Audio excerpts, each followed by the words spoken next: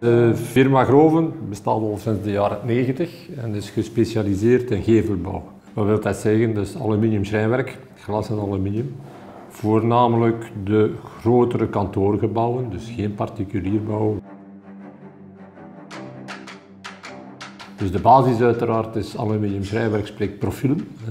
Maar vanaf begin heeft Groven Plus ook geïnvesteerd in een plaatafdeling. En dat weten jullie, want onze eerste machines komen ook al van LVD, begin jaren 90. Dus we hebben altijd belangrijk gevonden ook het aspect plaatbekleding mee te nemen in de gevelbouw.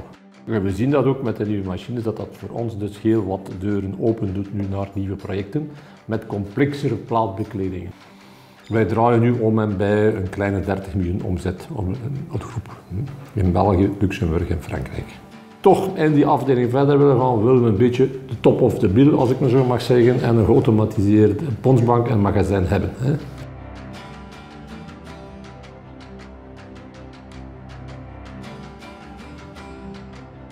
Wij hebben bij Groven gekozen voor een LVD-machine volledig uh, geautomatiseerd. Vroeger hadden wij een stand alone machine zonder magazijn, waarbij wij enkel platen op een chassis aangeleverd kregen en alles stond her en der door elkaar, op elkaar, wat uh, natuurlijk heel arbeidsintensief was. Nu hebben wij een volledig automatisch magazijn met vijf torens. We hebben 100 plaatsen uh, in het magazijn. Momenteel hebben wij 50 chassis. We hebben chassis van 4 meter op 2 meter in ons magazijn.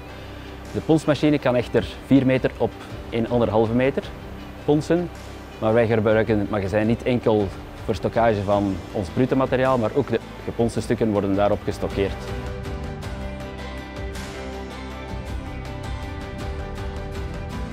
Ook de geponste stukken gaan terug op het chassis van 4 meter op 2 meter in het magazijn. Als wij deze nodig hebben om verder te verwerken, halen wij die terug uit het magazijn via de inlaadtafel, waardoor dat ook de ponsmachine kan blijven produceren als wij materiaal in of uit het magazijn halen.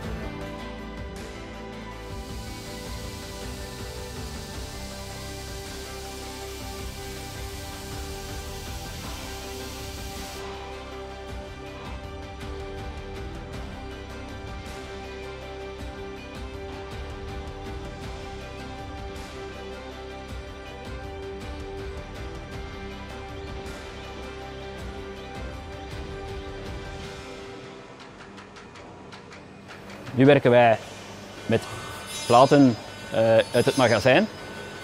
Daarop worden verschillende stukken genest, waardoor dat niet één stuk uh, per plaat wordt uh, verwerkt, maar meerdere stukken uit één plaat in één keer worden verwerkt door de ponsmachine.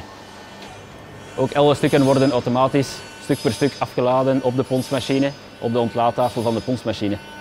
Vroeger hadden wij drie mensen nodig om platen te kappen en te ponsen. Momenteel werken wij met één operator aan de ponsmachine.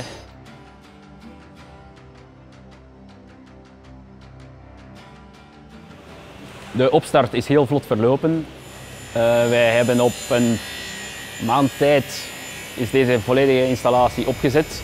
En dan hebben wij nog een anderhalf à twee maand een opstart doorgemaakt. Alle informatie is doorgegeven zodat wij op een degelijke manier onze productie kunnen, konden opstarten.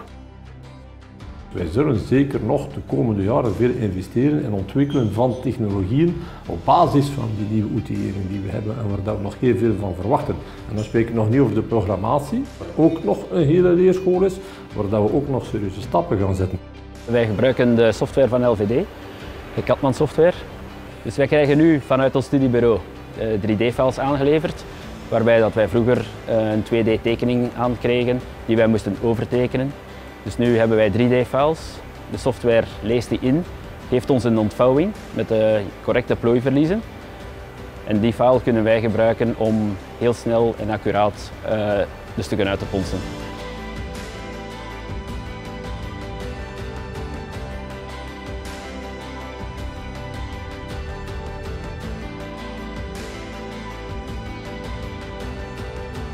Over rendement gesproken, ja, dat is tamelijk simpel. Hè. Als je naar de standalone een geautomatiseerd systeem gaat, dat is gewoon dag en nacht. Ik bedoel, vroeger moesten de plooibanken, we moesten de plooibank wachten op de ponsbank. Nu uh, kunnen de plooibanken met moeite de ponsbank volgen.